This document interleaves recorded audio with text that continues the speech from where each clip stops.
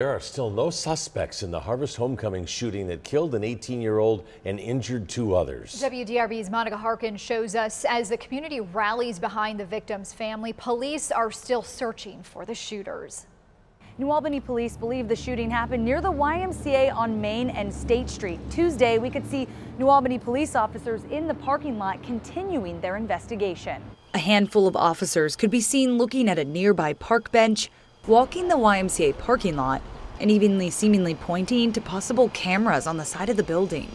We asked New Albany's police chief if there was any video going to be released of Saturday night's shooting.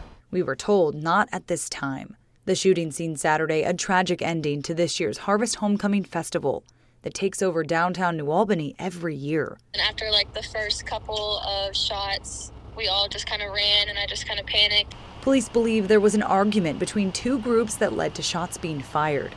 Three innocent bystanders were hit.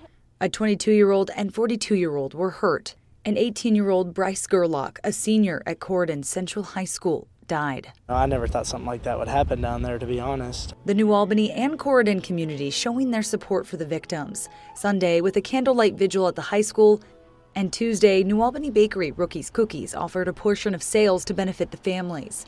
It sold out its supply in about two hours.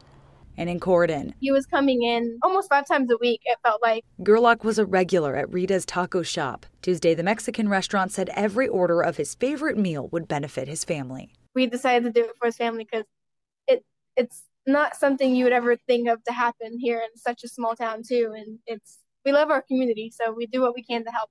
From benefits to meal trains and grocery collections, the community is stepping up to support the family. Gerlach's visitation is set for Thursday and Saturday in Corydon. Friday, his football team taking to the field in his honor on what would have been his senior night. New Albany police is still asking the community for more leads and tips as to what might have happened here Saturday night. In New Albany with photojournalist Jonathan McEmber, Monica Harkins, WDRB News.